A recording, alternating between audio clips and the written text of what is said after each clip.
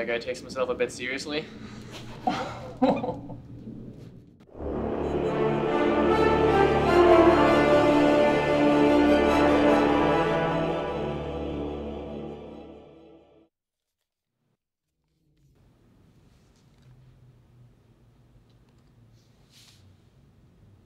You know, I've been wondering lately.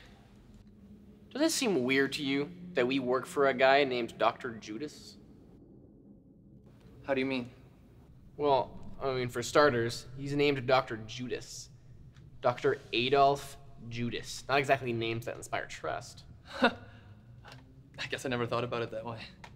I mean, I understand that in our line of work, being able to trust your employer is a luxury that very few are afforded. But seriously, Adolf Judas? Doctor? Fuck you, man. I'm being serious. I don't know. I think trust is overrated. I'd rather work here than go back to working heavy machinery just for the simple comfort of knowing I can trust my boss. Oh, don't get me wrong. I love my job. It's just there used to be so much more to villainry, you know? And old school villains, the kind of villains my dad worked for. They believed in something. They had solid goals that they were trying to achieve. Be it robbing Fort Knox or conquering the planet by constructing a super laser on the moon. Moon? Yeah. Villains today, they only really care about two things chaos and anarchy. Kill the hero, destroy the city, and then let humanity destroy itself until there's nothing left. I mean, what's the point? I don't really see how that affects us, though. I mean, we make really good money, got a decent medical plan, and, and what does it matter what the head honcho is getting up to? All we have to do is shoot Captain Apollo on sight. If you can, the dude's fast like a freak. Yeah, dude. I heard he killed like 200 people on the moon back in the 70s. Rumors say it took him like 20 minutes. He did. Uh, my, my dad was one of them. Shit, I'm sorry, man. He was working I- for the cosmonaut. Captain Apollo showed up one day with no warning and killed everyone. It was a massacre. And he got a medal from the president for it. Makes me sick.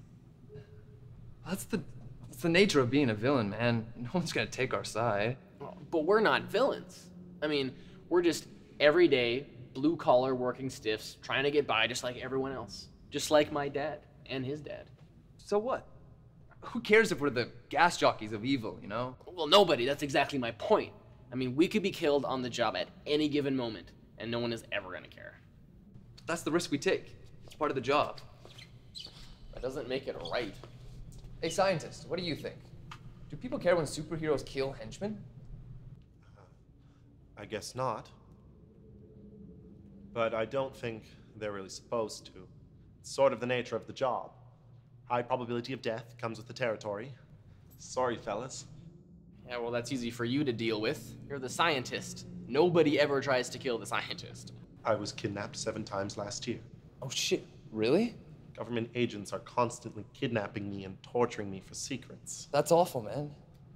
Well, at least no one's trying to kill you, right? I have a peptic ulcer from living in constant fear. Am I cleared for entry? Oh, right. Yeah. Uh, go ahead.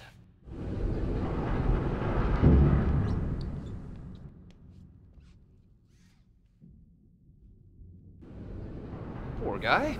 Poor guy. He's got it so easy. If he wanted to, he could defect at any given moment. Full salary compensation, witness protection program, everything.